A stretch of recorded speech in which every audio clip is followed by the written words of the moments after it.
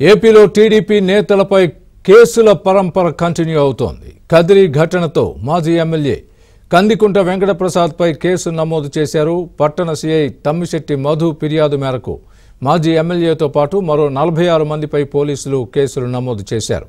జర్నలిస్టులపై non bailable కేసులు నమోదు చేయడం కలకలం రేపుతోంది.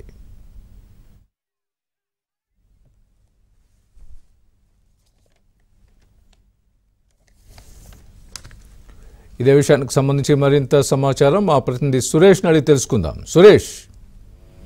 స్వామి టీడీపీ నేత కదిరి మాజీ ఎమ్మెల్యే కందుకుట్ట వెంకట ప్రసాద్ పై కేసు నమోదైంది.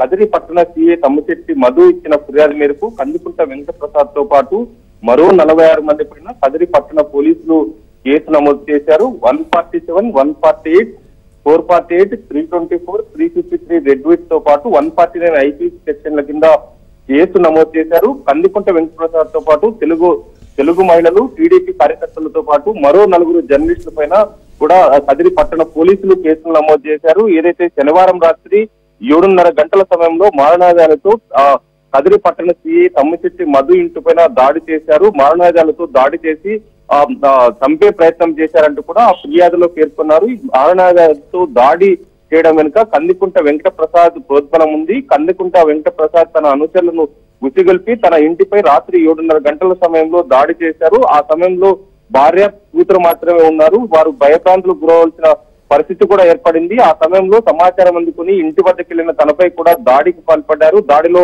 తీవ్ర గాయాలైనట్టు గాయాలైనట్లు కూడా పట్టణ సిఐ మధు ఫిర్యాదు చేశారు. అయితే వాస్తవానికి జరిగిన ఘటనకు ఈ ఈ కేసు నమోదు చేయడం పట్ల టీడీపీ శ్రేణులు టీడీపీ నేతలు కూడా తీవ్రస్థాయిలో మండిపడుతున్న పరిస్థితి ఉంది.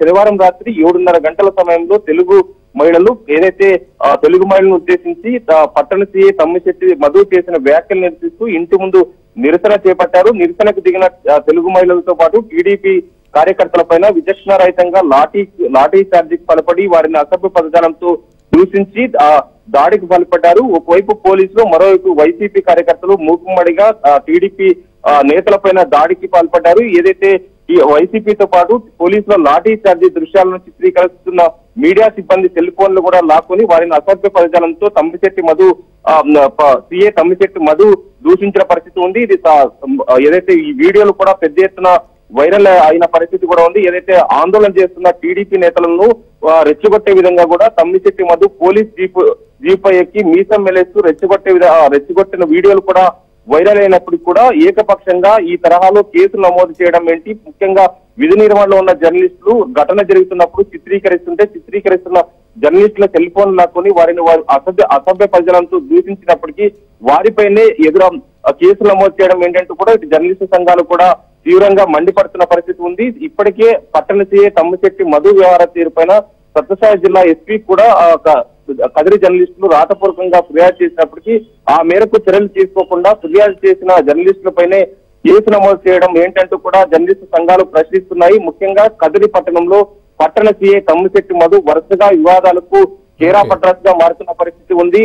ఆ టీడీపీ నేతలను రెచ్చగొట్టే విధంగా జేసీబీ పైకి ఎక్కి సవాల్ విసరడం పోలీస్ జీపులపై జీప్ పై ఎక్కి మీసం మెలేస్తూ రెచ్చగొట్టడం వైసీపీ నేతలు టీడీపీ నేతల పైన ఉసిగొల్పి తరహా ఘటనలకు పాల్పడుతున్నప్పటికీ ఏదైతే ఈ కార్యక్రమాలను అడ్డుకున్న టీడీపీ నేతలపైనే కేసులు పెట్టడం ఏంటంటూ కూడా టీడీపీ శ్రేణులు ఆందోళన వ్యక్తం చేస్తున్న పరిస్థితి ఉంది. Swamy. Right Suresh thanks for